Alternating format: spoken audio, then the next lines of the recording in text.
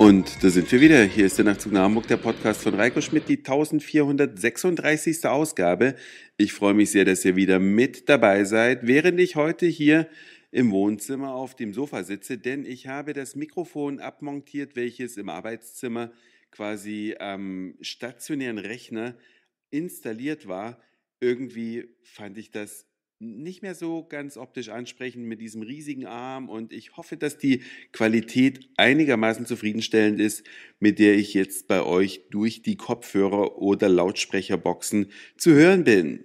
Endlich geht auch das Internet wieder, denn in den letzten acht Wochen hatten wir, sagen wir mal, vielleicht maximal fünf Wochen Internet.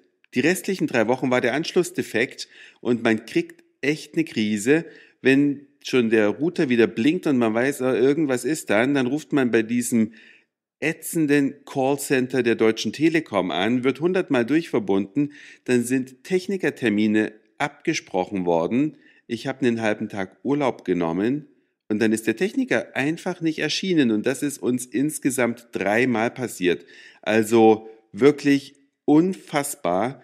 Und das verkauft die Deutsche Telekom dann irgendwie als Kundenservice oder als modernstes Netz oder was auch immer, keine Ahnung. Aber es ist wirklich zum Mäusemelken. Erst der letzte Techniker hat das Problem scheinbar in den Griff bekommen, denn seit über einer Woche geht die Internetleitung ohne Probleme, ohne dass der Router blinkt. Also hoffen wir mal, dass es so bleibt. Aber ich bin nicht der Einzige, der davon betroffen ist. Ich habe auch mal so im Freundes- und Kollegenkreis rumgefragt und tatsächlich, es gibt bei mehreren Leuten Schwierigkeiten. Also vielleicht ist die Telekom mit der Technik doch noch nicht ganz so vertraut, wie das alles laufen sollte. Heißt nicht, dass die anderen besser sind, keine Ahnung. Unsere Nachbarn, die haben Alice und da gab es auch schon mal Probleme. Also so richtig im 21. Jahrhundert sind scheinbar die Telefongesellschaften noch nicht angekommen, wenn noch nicht mal die Datenleitungen problemlos funktionieren. Aber vielleicht ist das Problem ja jetzt tatsächlich behoben und ich kann den Nachtzug nach Hamburg alle zwei, drei Tage wieder hochladen. Aber das war natürlich nicht der Grund, warum es jetzt doch eine längere Pause gab. Ich habe riesige Probleme mit meiner rechten Schulter und habe in der Zeit dann auch irgendwie keinen Bock gehabt, mich dann abends hinzusetzen. Es ist schon ein bisschen besser geworden. Drückt mir mal die Daumen, dass es noch viel, viel besser, nämlich wieder gut wird.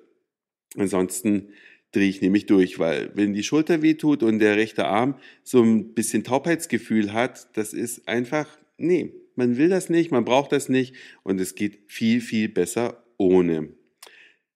Ihr habt vielleicht am Wochenende ein bisschen eingekauft. Ja, das machen ja viele Menschen. Samstags, Großeinkauftag. Die einen besorgen Lebensmittel für die ganze Woche, die anderen, die gehen ein bisschen shoppen in die Stadt und das kann man natürlich hervorragend machen in einem Einkaufszentrum. Und ich weiß nicht, wie es euch geht. Die meisten Einkaufszentren sind gesichtslose ja, nicht hässlich kann man nicht sagen, uniforme Gebäude, ja, alle vom selben Centerbetreiber und derselbe Branchenmix drin, die gleichen Geschäfte überall, also eigentlich nichts Besonderes. Es gibt aber einige Ausnahmen, die ein bisschen da rausstechen. Ich war vergangene Woche in Berlin und nee, diese Woche. Ich war diese Woche in Berlin und war da in einem Einkaufszentrum. Das möchte ich euch ein bisschen näher vorstellen. Denn es fällt auf durch seine Lage, durch seine Architektur und noch durch ein paar andere Besonderheiten. Es heißt Tempelhofer Hafen und befindet sich, wie man unschwer am Namen erkennen kann, in der Nähe des Flughafens Tempelhof, dieses schönen, riesigen Gebäudes, was aber leider nicht mehr zur Abfertigung der Fluggäste genutzt wird, weil der Flughafen ist ja stillgelegt. Und äh, in diesem Shopping Center gibt es natürlich auch die üblichen Verdächtigen, aber es liegt dafür an einem alten Hafen gegenüber des alten Ufergeländes und ist von der Anlage sehr, sehr nett gemacht. Die U-Bahn hält direkt vor der Tür und dann geht man in dieses Einkaufszentrum rein. Da befinden sich dann an der Seite noch ein Fitnessstudio und Gastronomie soll da glaube ich, hinkommen. Das ist nämlich noch nicht so hundertprozentig fertig, aber mit dieser Wasserfläche in der Mitte und zwar einer traditionell gewachsenen und nicht da hingesetzten Wasserfläche wirkt es echt schön. Und innen drin Gut, die Geschäfte sind zwar zum großen Teil die alten Bekannten, aber ein paar witzige Sachen haben sie sich auch einfallen lassen, wo man natürlich überlegen muss, was war das jetzt eigentlich? Und zwar gibt es eine Ecke, wo die ganzen Restaurants sich ballen oder Imbissstände. Und da gibt es auch einen Asiaten, einen Inder und einen deutschen Metzger und einen türkischen Dönerbräter.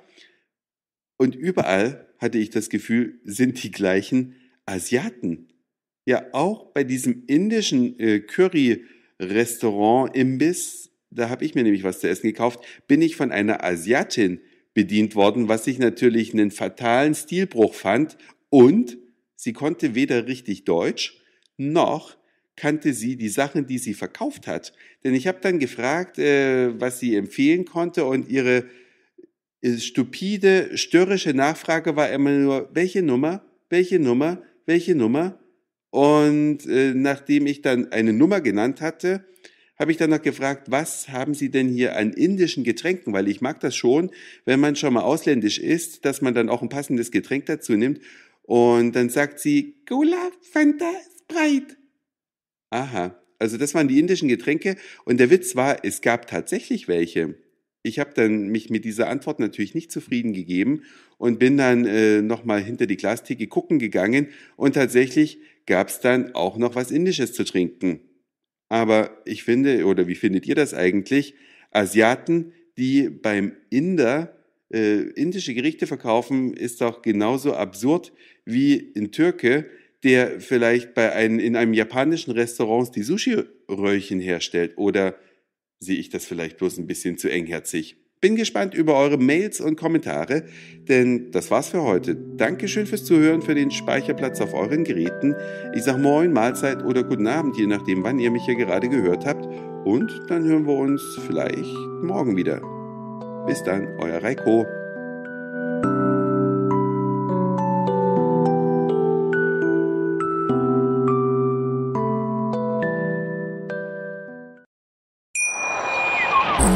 Mich natürlich schockverliebt, weil die war wirklich ganz, ganz klein. So begann die Mensch-Hund-Beziehung zwischen Christina und Tierschutzhund Frieda. Und wie es danach, nach dem ersten Moment der Verliebtheit, so weiterging und welche Klippen es danach zu umschiffen galt, das hört ihr in der neuen Ausgabe von Iswas Dog, dem Podcast für harmonische Mensch-Hund-Beziehungen. Iswas Dog?